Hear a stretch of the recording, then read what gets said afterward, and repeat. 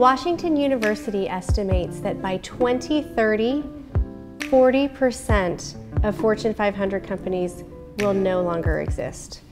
Do you know where your stocks are? That's my question. That's really right. Like uh, those are great questions, yeah. and here to help us answer all everything about innovation, artificial intelligence, and the blockchain, future. and the future is Patrick Patrick Schwerdtfeger. Nice. I said it right. You did a great job. Yes. It's a long name. It's a fantastic name. It means swordsmith, right? Yeah, it does yes. in German. Yeah. German name. Yes. Absolutely. And Beautiful. so you're going to help us like cut through the noise and help us understand help us understand about technology. You know, it's, it's an exciting time, and everyone wants to talk about this for the same reason mm-hmm. that I think you're you're hosting the the uh, the show today, because there's so much change coming, yeah. and and the see the instinct the, the real thing is that when you hear a stat like what you opened with, 40% of businesses are going to be gone supposedly in 10 to 12 years.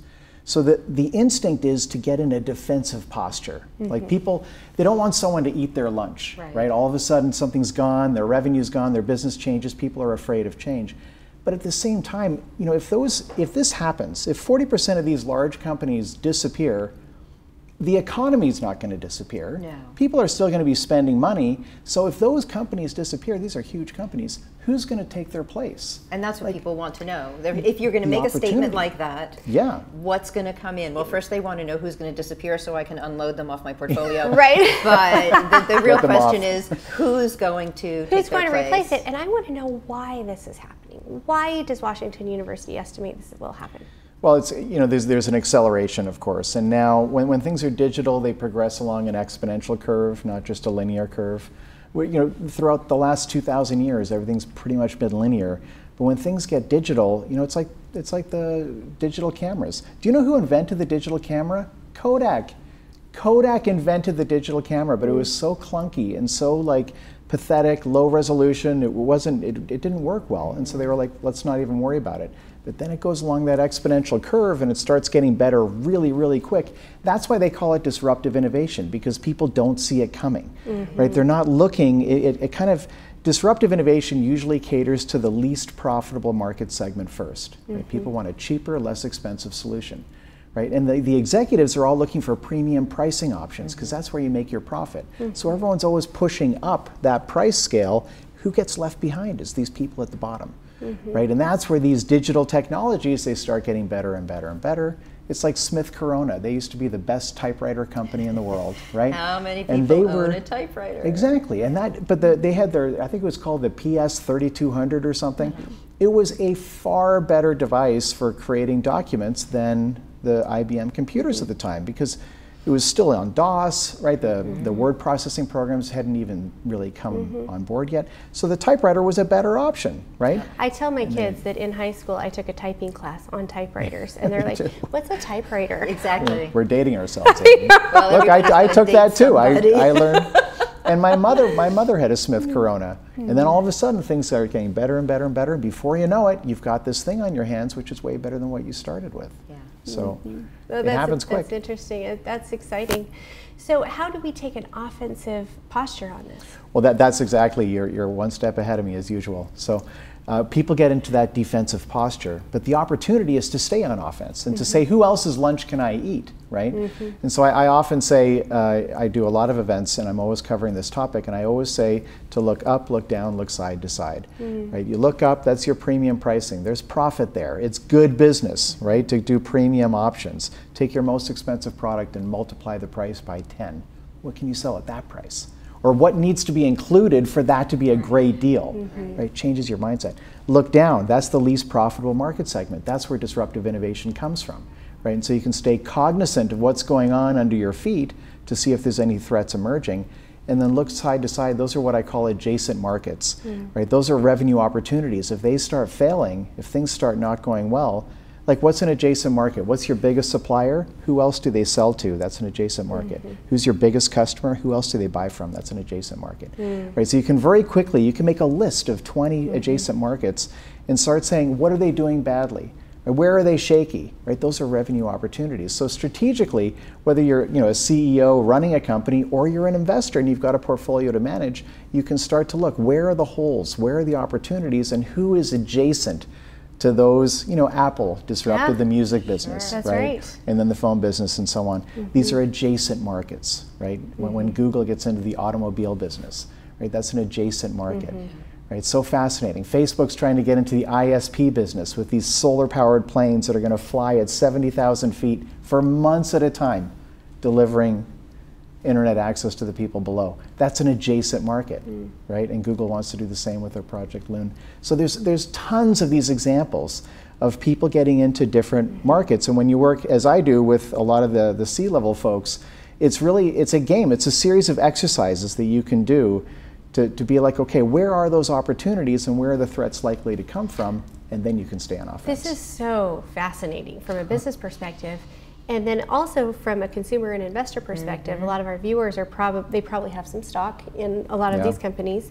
So what would be a very practical way for them to take a look at their portfolio, assess some potential threats, assess some potential adjacent markets, and look for opportunities for investing?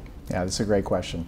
So, the, you know, many investors today, I, I know some are investing in individual stocks, but a lot of people are investing in these ETFs, right? Mm-hmm. And there's there's there's a lot of advantages to ETFs because they have some built-in diversification and it's kind of mm-hmm. managed. Just like, for example, the QQQ is the Nasdaq 100. That's the largest 100 companies.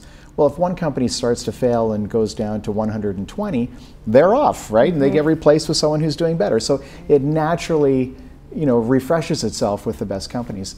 Well, there's some larger, you know, like there's, for example, there's the financial index, right, which has all the mm-hmm. banks, right? And that the index right now is kind of struggling. It's, it's not going down, but it's shaky. It's not certainly not going up, right? Meanwhile, the fintech space, which stands for financial technology, is a mm-hmm. booming part of the industry right now, which includes blockchain, which is the mm-hmm. technology behind Bitcoin, as you know. So, and that fintech uh, industry, there's a number of ETFs following it. The one that, that I have in my own portfolio, just full disclosure, is if FINX. That's the fintech ETF. And so you, you look for these ETFs that specialize in the progressive, the mm. forward-looking, you know, robotics. There's robotics ETFs, and there's AI ETFs, right? Even in the mm-hmm. big data space. And, and in each one of these, if we had time, we could go through and say, okay, where are the leading use cases? Like in big data, it's all about predictive maintenance. Mm-hmm. That's the big winner, right? And in AI, there's natural language processing. That's going to be huge in the next three to five years. Every business is going to be communicating with their customers using automated.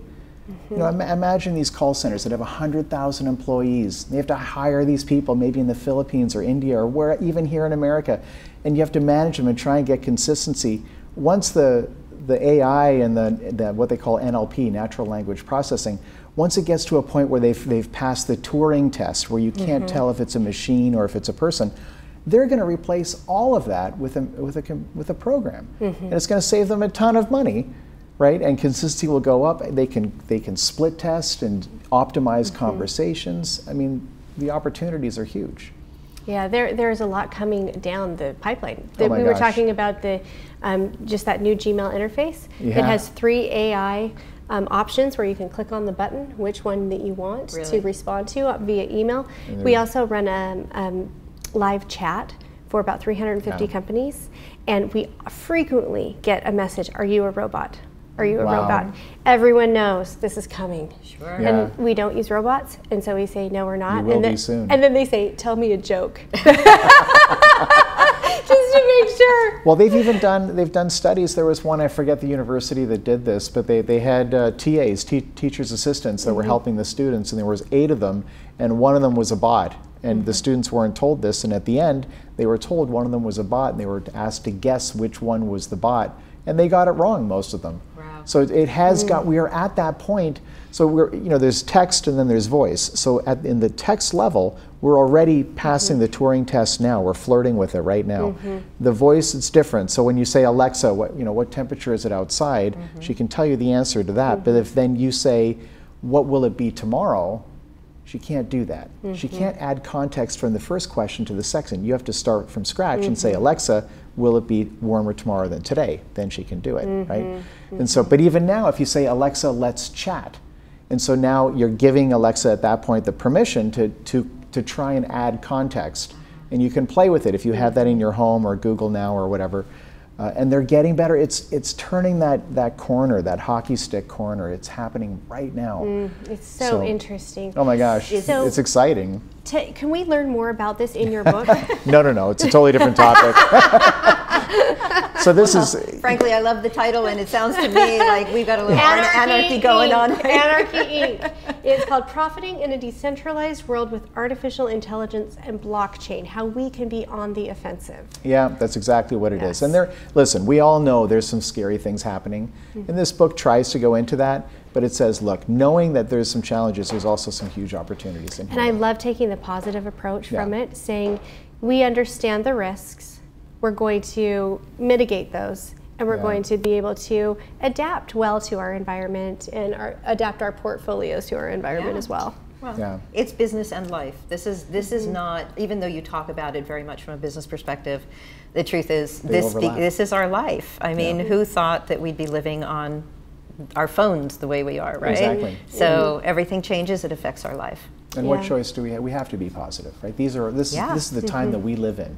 Yeah. So there's so much we can do. We just have to stay we're on the on the right side of the equation. Well, like you said, it's So- an exciting time. Yeah, it sure is. It's very It gives us a lot to think about. Patrick, how can people find you? And I know you are a speaker. You're out there. You speak about this all the time. yeah. Um, so, So- what would they find you for specifically? Yeah, it's uh, you know it's evolving because again, so many people want to. I'm doing put it this way. I'm doing more consulting, coaching type activities now than I used to, just because there's so many people who are trying to figure it out, Yeah. and so many people who are feeling a little bit nervous, right? But but it is true that historically I've earned you know 80% plus of my income as speaking fees, so that's how I. Mm-hmm. Uh, that's how I earn my living. But the, the easiest way to get a hold of me is, is a website, bookpatrick.com. and I do that because my last name is so long and so confusing. So if you do Book Patrick, it will forward to patrickschwerdtfeger.com, but no one can spell my last name, so it's easier to have a shorter. Bookpatrick.com. Bookpatrick. I can do that. Yeah. All right. It's very nice to be here. Thank you. Oh, you. thank you Amy, so so much. Great This to is have you. this has been so. I Thank you have for coming 10 in. more questions. I'm going to ask you afterwards. Okay, let's Will do you it again. please come back? Yeah, and- it's and always do a this pleasure. I would love to be here again. Wonderful. Thank, Thank you you. so much, and we'll be right back.